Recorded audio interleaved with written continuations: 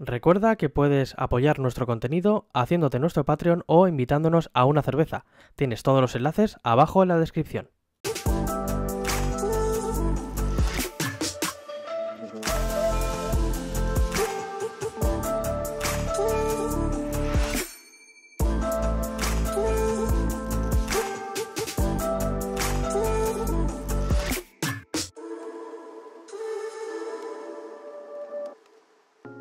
Bueno, pues como vemos hay muchas cosas que nosotros podemos hacer de- con nuestras motos. Exactamente. En el vídeo anterior de esta guía para moteros novatos vimos eh, pues, eh, qué pasa si te cae una moto, cómo levantarla, eh, en caso de accidente, ¿Qué hacer? etcétera, etcétera. Y en este caso vamos a ver sobre, que es el penúltimo vídeo de esta guía, sobre mantenimiento de la moto, qué es lo que le podemos hacer nosotros, qué es lo que podemos llevar a un taller y básicamente lo que tenemos que hacer en la moto para que nos dure lo máximo posible y no ser un poco gallanes. Y, no y que tener la moto en óptimas condiciones porque una moto es fundamental tenerla bien para que te dé las máximas satisfacciones y no tener un problema. Exactamente. Y no te deje tirado, claro. Exactamente. Lo básico básico es el estado de los neumáticos, Fundamental. bien, que no se te hayan quedado cuadrados, que es tener en cuenta que los neumáticos caducan, que tienen una fecha de caducidad, que aquí en las imágenes os voy a mostrar dónde podéis ver la... La fecha de La fecha de fabricación, caducidad, etcétera, etcétera. Para calcular la fecha de caducidad de nuestros neumáticos es muy sencillo. Tan solo nos tenemos que ir a uno de los flancos del neumático y buscar entre todos los dígitos estos cuatro últimos que aparecen siempre juntos. Los dos primeros dígitos se refieren a la semana y los dos últimos al año de fabricación. Es decir, que en este ejemplo eh, se refiere más o menos a la tercera semana de septiembre del año 2011 ya que sabemos la fecha de fabricación de nuestros neumáticos, para saber y calcular la caducidad simplemente les tenemos que sumar 5 años. Las presiones, Cambio de aceite y filtro. a cambio, aceite y filtros del aire, aceite y cambio del, del Eso aceite es, del cárter. yo diría lo más importante porque es... la vida, marcar el motor, la es vida la del motor. vida, es la vida del motor. Exactamente. Luego revisiones en tu caso de cadena, engrases, tensados, cardan, etcétera, etcétera, porque eso todo eso lleva un mantenimiento. Si le das mucho uso, pues eso es fundamental que esté bien.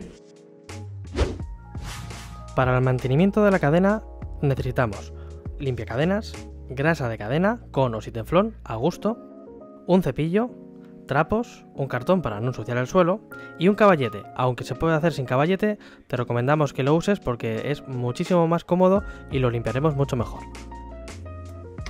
Subimos la moto al caballete y lo primero que hacemos es poner punto muerto y echarle limpia cadenas a toda la cadena, siempre desde la parte exterior para no mojar ni la rueda ni ninguna otra parte de la moto. Dejamos que repose toda esa limpia cadenas, le volvemos a echar un poquito más y limpiamos bien con el cepillo y luego pasamos una última pasada con el trapo. Este proceso lo tendremos que repetir hasta que quede la cadena totalmente limpia. Una vez esté totalmente limpia, ya podemos engrasarla con la grasa de cadenas especial para moto. Importante, no pasarnos con la grasa. La echaremos por el exterior de la cadena y seguiremos moviendo la rueda hasta que llegue y penetre en toda la cadena por completo. Además de todo esto, también podemos eh, acceder al piñón de ataque si queremos limpiarlo y esto os recomiendo que lo hagáis de vez en cuando ya que se acumula mucha suciedad en esta parte. Para ajustar la tensión de la cadena tenemos que aflojar el eje en ambos lados y ajustamos la tensión con esta tuerca también a ambos lados. Nos fijaremos cuánto hemos tensado siguiendo estas muescas también a ambos lados del eje, siguiendo las indicaciones del fabricante y ya habríamos terminado.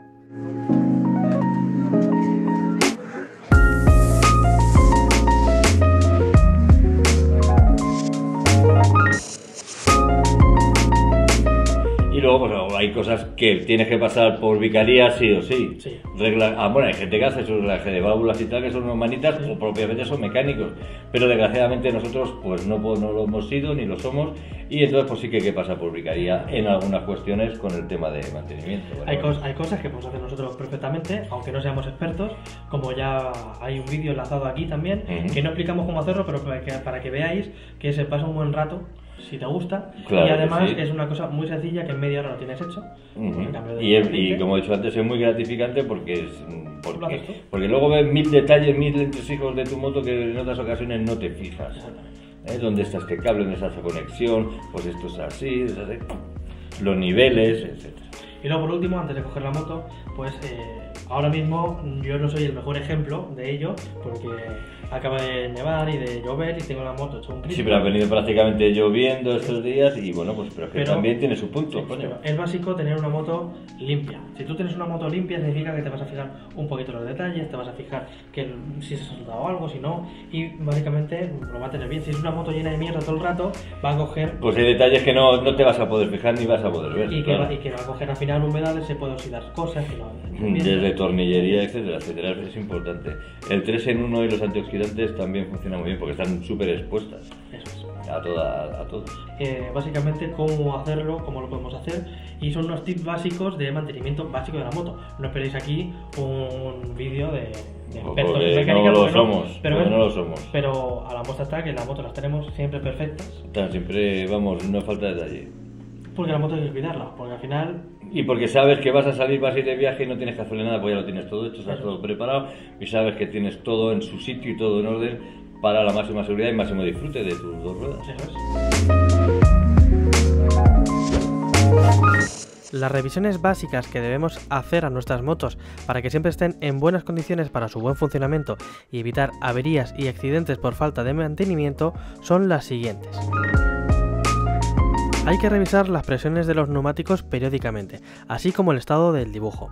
No te recomendamos nada en absoluto que apures el neumático al máximo, es lo que nos mantiene pegados al asfalto y podemos tener un reventón o cualquier incidencia por no tener los neumáticos al día. Hay que revisar el líquido de frenos periódicamente y cambiarlo cuando sea necesario, así como los discos de frenos y pastillas. A la más mínima pérdida de frenada tenemos que revisarlo.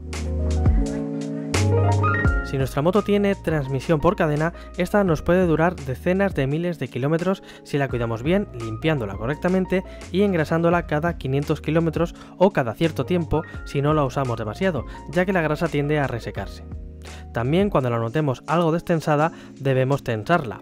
Eso sí, si tenemos que cambiar ya el kit, debemos cambiar siempre el kit completo y no solamente la cadena. En el caso de que tu moto no tenga transmisión por cadena y tenga o bien correa o bien cardan, entonces las revisiones tenemos que pasar según el manual. El aceite, filtro de aceite y filtro del aire es lo más básico para el mantenimiento del motor. No realizar los cambios cuando le indica el libro de instrucciones de cada modelo, con un buen aceite y un buen filtro, dañarán el motor y su vida se reducirá, así como su rendimiento. Además de todo esto, también debemos revisar luces, reglaje de válvulas, suspensiones, refrigerante, etc. Pero eso mejor que lo revise nuestro mecánico de confianza o si sabemos hacerlo perfectamente, pues ya sabemos.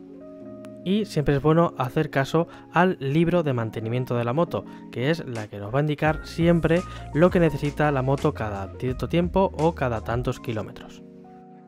Pues nada, nosotros nos despedimos hasta el siguiente vídeo que ya será el último de esta guía para, Ujú. para novatos. Bueno, que espero os esté gustando. Y vamos a hablar de una cosa muy interesante que es cómo preparar nuestras primeras rutas y nuestros primeros viajes en moto si nos gusta viajar. Que es lo más, a mí es lo más emocionante, esos días que ya sabes, Sí. estás preparando tu ruta con tu GPS o con tu iPhone o lo que sea y dónde vas a ir, dónde no vas a ir, esa emoción, la verdad que, y qué llevar, claro, y qué llevar, porque hay veces que, que llevamos tantas cosas que luego utilizamos un 20%, yo por lo menos un 20% de todo lo que Sí. llevo. Hombre, es verdad que cada llevo menos, ¿eh? Pero bueno, eso se aprende en la práctica. Por mucho Sí. que digas, al final empiezas a notar cosas en las maletas o la. Que esto por si acaso, pues por si acaso, Sí. por si acaso, por si acaso, y por si acaso nada más que te hace peso y estorba. Exactamente. Y yo creo que es interesante ya finalizar con esto, porque ya hemos visto cómo conducir, cómo frenar bien, cómo tomar una curva, cómo hacer el mantenimiento. Como de cero Pues empezar a te- eh, tenemos exactamente, estamos ya preparados y nos vamos a, a disfrutar de viaje, a ver pueblos y cosas. Exactamente. Porque- O, o castillo, lo que a cada uno le guste. Así que ahora nos vemos ya en el siguiente vídeo, que no sé si ya será sábado, jueves o domingo, no sé, porque ya no sé cómo. Va, vaya estructurado. pues no lo sabemos. Pero vamos, que ya será el último vídeo de la guía, que espero que os esté gustando. Mm, Yo creo que sí, a mí me está encantando. Así que venga, hasta el siguiente vídeo. Adiós.